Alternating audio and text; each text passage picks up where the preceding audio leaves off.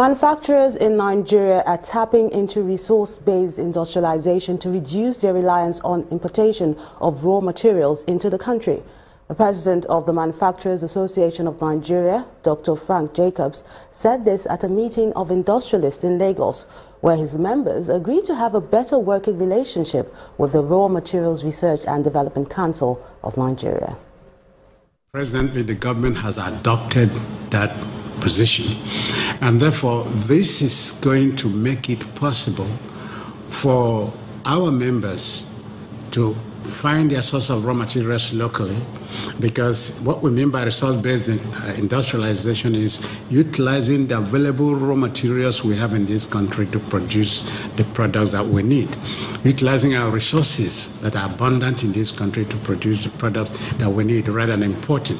So if we have an opportunity where investors can now meet with those that manufacture these raw materials or those that currently produce some of these raw materials through the research of the research, uh, raw material research and development, it will help us and it will help the economy because it will then advance that our cause of resource-based industrialization policy.